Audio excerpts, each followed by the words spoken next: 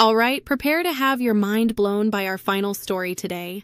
U.S. fighter pilots have, for the first time ever, taken real time tactical directions from an AI air battle manager during a Pentagon test. This is absolutely incredible and represents a massive milestone in military aviation. Let me break this down for you. In August 2025, the U.S. Air Force and Navy used Raft AI's StarSage tactical control system on F 16s, FA 18s, and F 35s during a joint military exercise.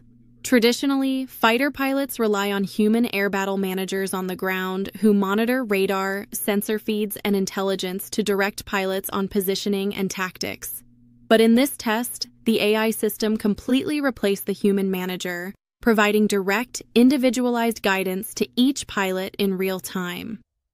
The CEO of Raft AI, Shubhi Mishra, stated that StarSage speeds up response time and improves accuracy, allowing pilots to make decisions in seconds that previously took minutes.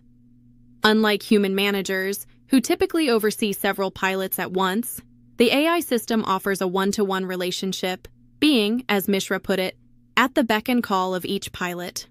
Can you imagine having your own personal AI tactical assistant during a high stakes mission?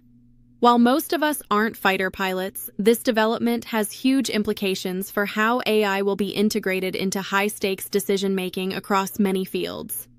The technology that can help make split second decisions in air combat could eventually be adapted for emergency services, complex logistics, or even healthcare scenarios where rapid, accurate decisions are critical.